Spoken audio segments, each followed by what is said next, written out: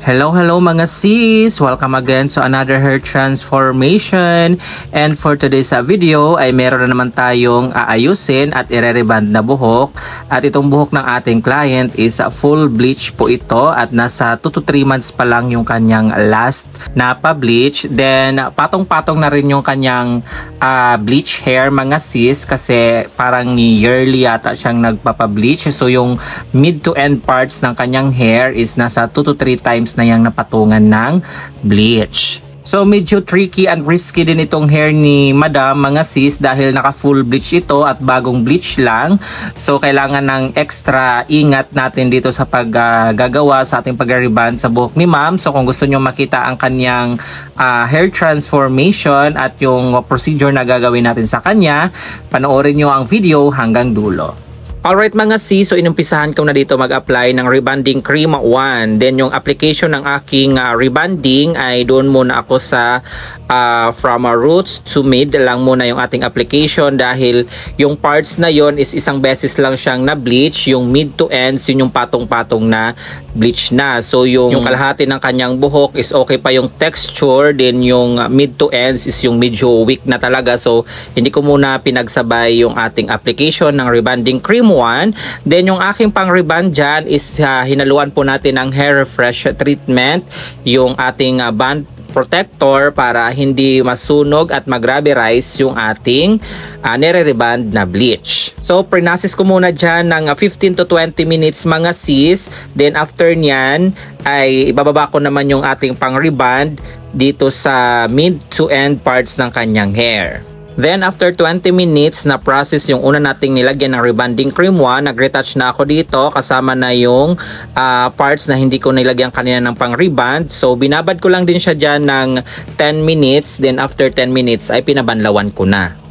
Okay mga sis, after ma-process ang rebonding cream number 1 sa buhok ng ating client. So ito fresh from Banlawan pa lang ito. Then minu-blow dry na natin siya. Papatuyuin ito natin ng up to 100% dry dahil isusunod naman po natin yung pag-hair iron. So as you can see mga sis, Maganda yung pagkakaprocess ng ating rebonding cream 1, hindi nasunog, hindi nag-grabby rice at hindi nagputol-putol yung buhok ng ating client.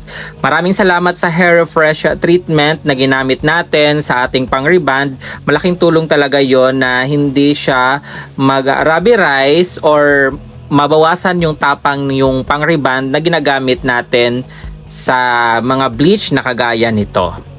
So as you can see mga sis, habang pinapatuyo natin yung buhok ng ating client dito, wala akong nakitang signs of damage, rubberize, or even nagputol-putol yung ating client's hair.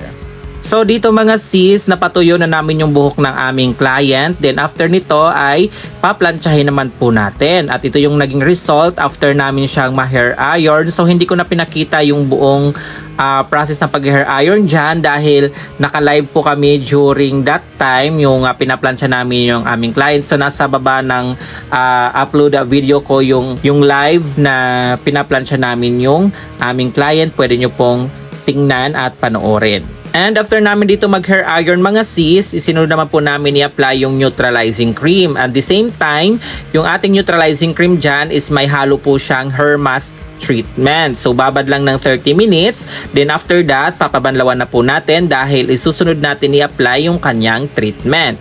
So, this time, after 30 minutes na nakababad yung ating neutralizing cream, pinabanlawan natin. Then, sinunod natin in-apply yung kanyang uh, treatment. So, babad lang po ng treatment ng isang oras. Then, after 1 hour ay papatuyuin na po natin. So, ayun na nga mga sis, after 1 hour na ibabad yung ating treatment. So, dito blow dry, blow dry na tayo. As you can see, straight na yung buhok ng ating client. Wala nang buhaghag, wala nang kulot-kulot. And the same time, walang ka-damage-damage. And after naman natin dito magpatuyo ay papadaanan natin ng last iron at tingnan natin yung kanyang final result and of course ang ating after wash result na isinend sa atin ng ating client. Okay mga sis, fast forward ko na yung ating pag-blow dry dahil alam kong umay na umay na kayo sa bosses ko. Charot. So panoorin na lang po natin hanggang dulo. Then kayo na po ang bahalang humusga sa ating ginawang uh, reband sa buhok ni ma'am na naka full bleach. Chadan! So ito na yung final result sa ginawa nating reband sa buhok ni ma'am na super bleach. Then gusto sana ni ma'am na magpa-tone down or magpa-hair color sa buhok niya. So in-advise ko na lang siya na wag isabay yung ating hair color at bumalik na lang siya after a month para hindi masyadong mabugbog yung buhok ni ma'am dahil full bleach nga ito at uh, para makapagpahinga muna ng very light at saka siya bumalik after a month para sa kanyang hair color. Actually, mga sis, pag nagre-reban ako ng mga naka-bleach at gusto magpa-hair color, hindi ko talaga sinasabayan ng hair color. Ina-advisean ko na bumalik na lang sila sa kanilang next appointment or session para sa hair color para at least may sabay na rin yung uh, another treatment para sa hair kasi pag mga ganitong uri ng buhok na nire-reband is highly maintenance po talaga ito sa mga treatment. So, kailangan ng follow-up treatment para ma-maintain yung ganda ng buhok. Kasi alam nyo naman, marami maraming mga marites dyan na sabihin after a month, after 2 months or tumagal, papangit na yung reband na bleach. Siyempre, kailangan po natin i-maintain ng treatment para mapanatili yung ganda ng ating reband or yung hair. And this is our client's uh, feedback and after wash result mga sis, what do you think? Comment your thought below. And uh, please mga sis, utang na loob, share this uh, video to your friends. And don't forget to like our page, Chading. And don't forget also to subscribe to our YouTube channel, Chading. And thank you for watching for this uh, video. And this is Chading saying have a great hair day always mga sis love until our next uh, video. Bye!